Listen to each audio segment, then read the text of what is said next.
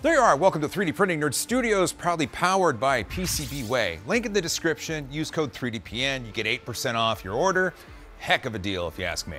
This is the Orange Storm Giga from Elegoo, and as I famously unboxed it and had an issue with it, I followed the directions precisely and it murdered itself. We finally have a finished print on the bed, and I need to tell you about the absolute madness it took to get to this spot because holy cow. Why does this keep happening to me? To recap a bit of the stream, unboxing went just fine, and assembly went fine.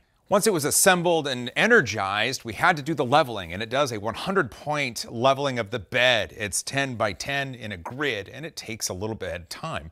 It does that, and then it offers for you to adjust the Z offset, which I used the tool to do, and I adjusted the Z offset to what was proper. And then that's when things went off the rails. Are you kidding me?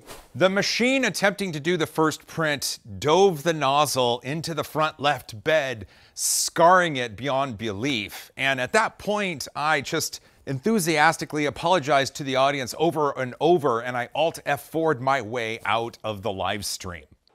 I, I'm done. The Orange Storm Giga does, like I said, a 100 point level, 10 by 10 mesh of the bed, and then it lets you set the Z offset. There's absolutely no reason it should dig the head into the bed because it knows exactly where every single point of the bed is. It just didn't make any sense. I have absolutely no idea what's going on. I, of course, shared my feedback with Elegoo bless their little hearts, and they asked for the Klipper logs and the leveling data, which I, of course, shared with them. When you connect this 3D printer to Wi-Fi and go to the assigned IP address, you're given the Fluidd interface. And within the interface, you can take a look at the graph that represents the bed mesh level. And when you look at the image originally, and this is the image I sent to Elegoo, it looks a little bit suspect. It looks like a side of the mountain range, and you're like, holy crap. But you have to look at the key because it tells you what the highest point and the lowest points are. Giving a sense of scale, it tells us that the highest point is minus 4.9 millimeters, and the lowest point is minus 6.29 millimeters, which gives us a difference of 1.4 millimeters across the span of 800 millimeters. It should be able to compensate for a 1.4 millimeter difference over 800 millimeters. I just, I didn't understand what was happening. In response to the Klipper logs and the leveling data, Elegoo did say, hey, you know what? We're gonna send you parts. And the engineers are working on an optimized firmware. Cool. A subsequent email from Elegoo said they wanted me to check and change the fade start and fade end values within the configuration. The fade within Klipper means that as you have a bed and it might be off or the mesh might have lumps in it, the idea is over a certain number of layers, you can fade that out. It'll automatically adjust it so it's not having to compensate for those lumps in the bed over and over. It does it for a certain number of layers, whatever specified, and then it's all honky-dory printing into oblivion. Fade start within the configuration of my machine was set to minus 22.0, and they wanted me to change it to 1.0. That's a heck of a swing right there. Was that responsible for the nozzle offing itself into the lower left part of the bed? I don't know, but this seems better so I changed the settings. Now we can talk about the parts that arrived. There was a new print head and two new sheets. So there's the print head, or at least what it looks like.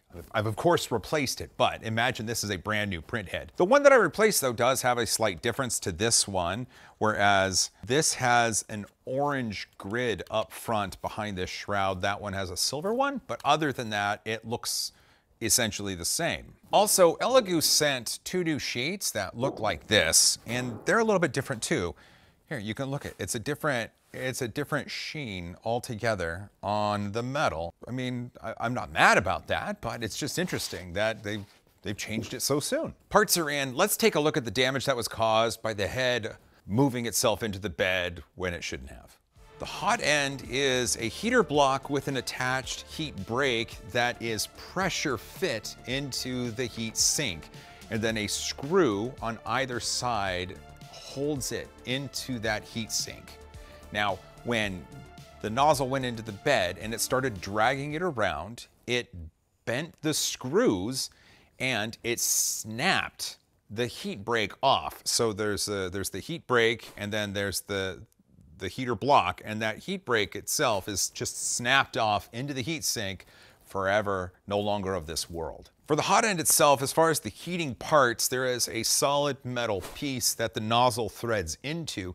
There is a heater pad that sits on the side, and there is a thermistor that pokes into a tiny little hole, and then there's two springy metal sleeves that go over all of it and hold it into place.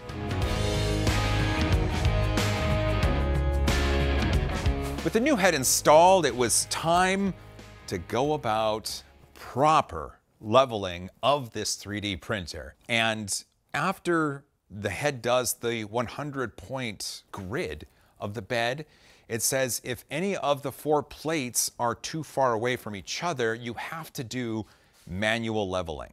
What Elegoo gives you are these two plates right here. These two build plate-esque looking pieces of spring steel, and each one has nine holes in them, and each hole represents each of the nine screws that there are per build plate. Yes, that's right. You get to adjust screws of the build plate at this point, and not just one, two, three. You get nine per build plate, and there's four build plates. And all four build plates are held in place with springs. No! In the UI, you can hit an automatic button and it'll go through and tap the head on each of the nine screws of the front two plates and it'll tell you the level at which they sit. And it tells you that you can turn each screw clockwise or counterclockwise to adjust by 0.7 millimeter or minus 0.7 millimeter. It's entirely non-specific and non-precise how you're doing this, even though it's attempting to give you precise numbers and it wasn't fun. You can also, through the UI, touch each of the screw points and it'll move the head over that. And that's what I ended up doing after doing the automatic bits. I wanted to get as close as possible because you're supposed to get 0.00 or as close to that. And what I did was start leveling. I would hit a point and then I would hit the next point and then I would adjust the one previous, then I'd go back to that and I would tap that one and then go to the one that was just measured and I measured that and I'd move it to another point and then measure that and then go to another point. It was like, is this the bad place? I give up. I firmly believe that the beds should not be mounted with springs. They should instead be mounted with rigid posts. You're trying to bring four different planes into synchronicity. I don't know, whatever, whatever the term is that you're trying to do, that's what you're trying to do. And it's not easy and it's prone to error and I got most things leveled up as best I could, but when the head would go and measure, it wasn't always giving the same numbers each time. And so this path was fraught with treachery and errors and sadness, and it took a long time to do this. I was I was leveling that for an hour and a half, an hour, and a, an hour, an hour. In an email to me, Elegoo did say that the reason that they're using springs is so that when you have four heads on this machine, each head is able to print at the proper level on each bed. And I'm going to be honest with you, Elegoo, that makes zero sense. Why would you change each bed's height to match a nozzle when you could just change each height of the nozzle to be proper across the bed? Because you have to assume that X and Y are going to be as parallel as possible to the bed. What you should do Elegoo is have each nozzle able to adjust in Z so that the bottom of each of the four nozzles, when you have four on here, are at the same level because then you don't have to adjust your bed and you can have a rigid mounted bed. It's a good idea. With everything leveled and leveled and leveled and leveled again, it was time to attempt my first print. And I, I preheated everything. I set the bed to the, and the nozzle to the PLA settings that are in, in this and uh, just Fun fact, when you set preheat in the bed to 60 and the nozzle to whatever, the, the machine is pulling nearly 1300 watts at 13.5 amp. when we talk about North American residential circuits, most of them are 15 amp, which means you're approaching the limit of what a circuit should be. So if you've pre-ordered one of these machines and you have multiple 3D printers on the same circuit, you might be popping circuits. I thankfully have 20 amp circuits here in the soundstage and it works just fine. Just good to know. I had power stations come online and I was preheating and it was time to load the filament. And I, I, went and I grabbed the filament and I loaded it in and it jammed. It, it jammed. I thought I was gonna show you something cool next time I turn this on, but instead I'm having to troubleshoot a filament jam because of course, of course, that was terrible. It was absolutely terrible. And I was taking apart the print head just while it sat on the 3D printer. I was able to get the nozzle out and I attempted to put a metal rod down from the top to push any sort of plug out. That didn't seem to work. I turned off the fan that created the heat break and I attempted to get the heat sink heat soaked, thinking it would melt whatever was in there and I could push it through and that didn't work. So I took the head off and I had to pull that hot end out of the heat sink. And sure enough, it came out and there was a plug. I found the plug. Unfortunately though, because the heat break is attached to the heater block, um, it's delicate and it bent a little bit when I was attempting to remove it. I did find my problem, but I broke it in the process. Thankfully, Elegoo included another heater block in the package that they sent me. So I was able to Frankenstein everything back together and become intimately familiar with this hot end and get it put back together. And I just, I felt, I felt glorious when I did this. Like I was, I was like, I was on top of the world. Now, because I changed everything around, I did the 100 point leveling again, and it was fine because I'd already leveled the bed and screwed and unscrewed things into oblivion. And then I, I preheated to 60C on the bed and I, and I consumed all the energies. And then I fed the filament in carefully and it was still jam. So it turns out the jam happened between the extruder gears and the top of the heat sink, which is not easily accessible, not even close. There was no easy way to do this, so I did the only thing that I thought would work. So I grabbed myself my Hacksmith lightsaber torch and I aimed it at the end of this and I made it nice and hot and I shoved it down in there and eventually it gave way. So whatever tiny piece of PLA plug that was there, this melted and now I've loaded filament. We are set to start our first print and I went and I hit print and it homed Z and it moved over to start the purge line. Oh yeah! Yeah! Yeah! That's right, it was printing. There it is right there. Let's get it off the build plate. This is the little Buddha. This is the little Buddha. It was printed with a brim, and this was printed on my Elegoo Orange Storm Giga.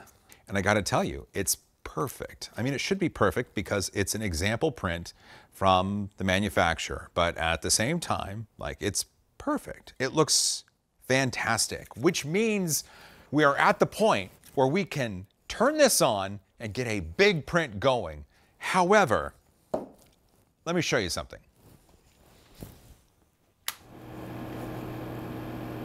The fans are a little loud. You have to remember, in the guts of this machine are four separate power supplies, one per bed, and then a fifth power supply to power the rest of it. Everything underneath this 3D printer gets warm, and so they need fans to keep it all cool. And to do that, it creates a lot of noise. So here's what I'm going to attempt to do. I'm gonna put it right back here I'm gonna plug it in and I'm going to attempt to do some long sort of print, hopefully get a time lapse of it, and we'll see what happens. Fingers crossed.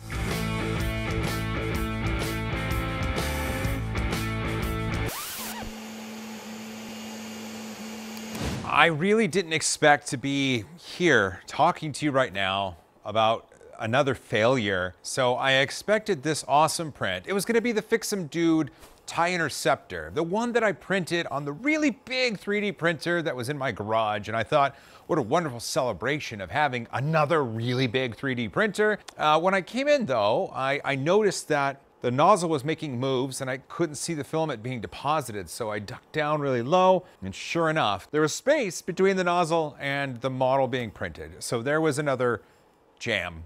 I'm just, I'm so sad about this because I really, really want this to work. And it was looking really good. Let me get it off the build plate.